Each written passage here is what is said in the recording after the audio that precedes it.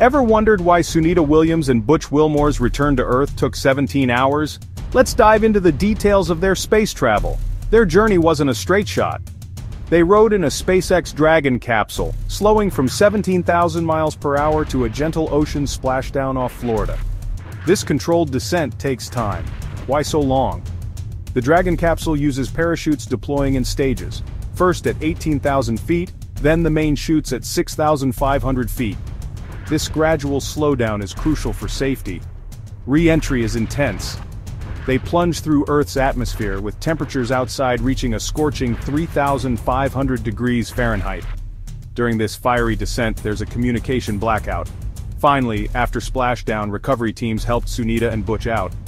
After months in space, astronauts need some support due to weightlessness effects. Butch missed the smell of fresh-cut grass, and Suni craved ocean swims and her husband's lattes.